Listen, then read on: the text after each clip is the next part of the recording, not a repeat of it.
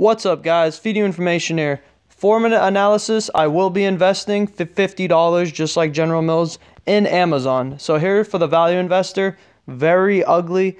89.2 price earnings, forward of 59.6. So it is going down, even though it's still high. Average in the 20s, so overvalued from that standpoint. 19.9 for the price to book ratio. It needs to be under 5, it's overvalued. Price to sales ratio, you have a 3.52, actually under the 5, so there you go. Debt over equity, you have 0.63, average under 0.5, so slightly higher than, than what you'd want it.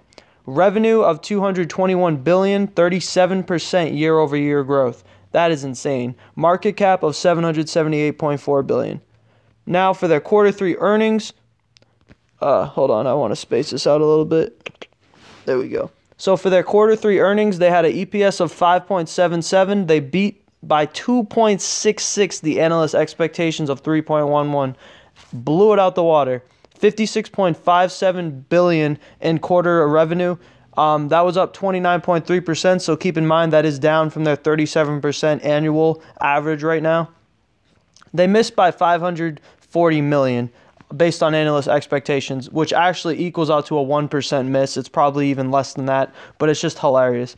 Amazon Web Services was up 46% quarter over quarter. That's down um, from 49%, but you know, it's still up 46%. That's still really good. Further information, you have third in ad revenue behind Google and Facebook. That was something I recently just found out, and that's awesome. First in cloud market, so Amazon Web Services. Um, they're generating so much revenue. It's growing so rapidly. It's insane.